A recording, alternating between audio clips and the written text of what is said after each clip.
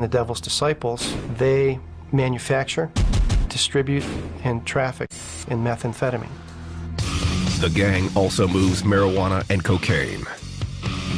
But dealing drugs isn't their only vice. They're also involved in prostitution, murder for hire, extortion, involved in trafficking of weapons and explosives. Children will never know. You're supposed to die with them secrets.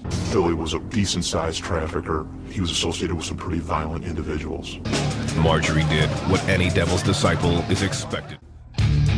But John's words, Five's dad, still nagged at Billy when he woke up.